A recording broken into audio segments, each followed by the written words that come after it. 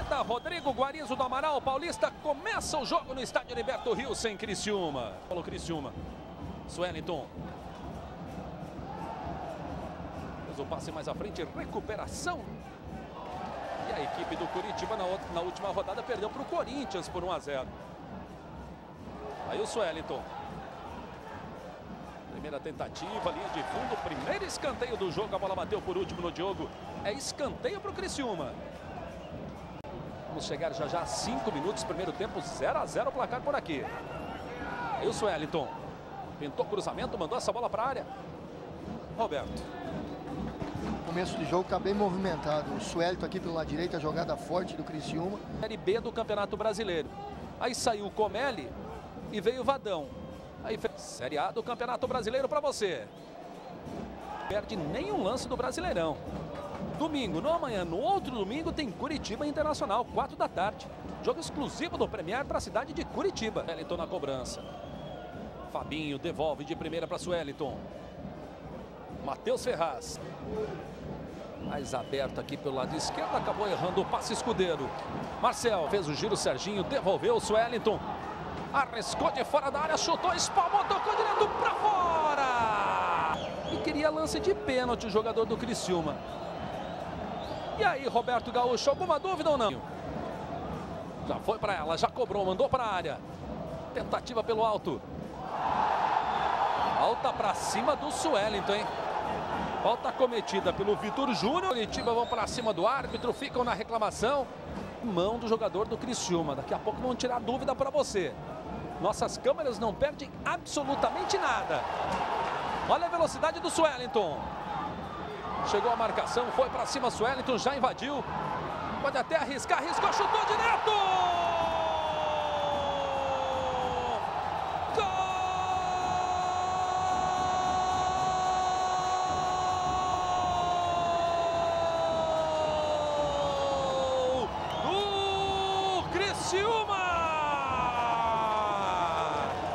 Olha só a festa da torcida e a arrancada do Suellington.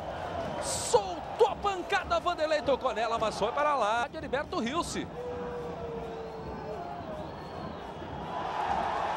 Vai sobrando bola para o Criciúma de novo. Lançamento era lá para o campo de ataque. De 35 no primeiro tempo de jogo no Heriberto Rilse, um Criciúma 0 para o Curitiba. Olha a bola tocada para o Criciúma, tentou de bicicleta!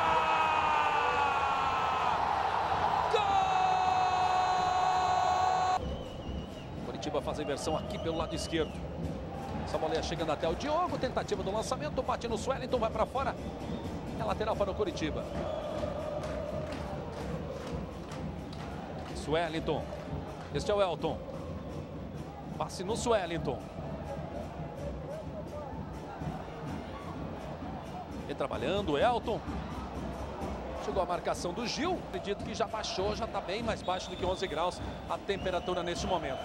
Quando apita Rodrigo Guarizo do Amaral Paulista, começa o jogo no segundo tempo. Lateral vai ser cobrado pelo Curitiba. A bola já foi chegando em direção ao Júlio César, camisa número 11, que entrou agora no segundo tempo.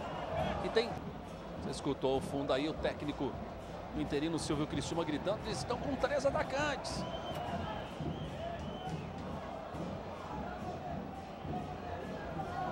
Para o Gil. Passe para o Júlio César. Falta dele. Falta no Swellington. Aqui, 2 a 0 para o Criciúma. E essa 16 rodada do Campeonato Brasileiro. Tem ainda jogos marcados para amanhã. Tem São Paulo e Fluminense, Bahia e Náutico, Vasco da Gama e Corinthians, Atlético Mineiro e Portuguesa, Atlético Paranaense. Bota no ataque. Olha o Curitiba chegando. Swellington de cabeça. Vitor. Elton. Abertura lá na direita. Se pegar é boa, hein? Não chegou a tempo não. O Suellington, essa bola vai para fora. É lateral para o Corinthians. Escudeiro.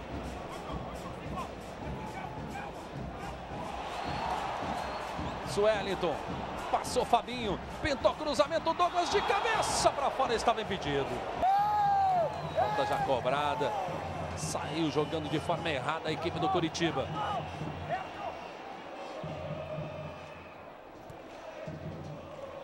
João Vitor. Lateral Criciúma de novo.